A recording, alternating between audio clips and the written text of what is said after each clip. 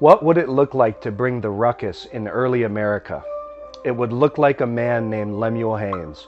Lemuel Haynes was a Minuteman in the American Revolutionary War. He was a Federalist Republican and he was a New Divinity Puritan in the tradition of Jonathan Edwards.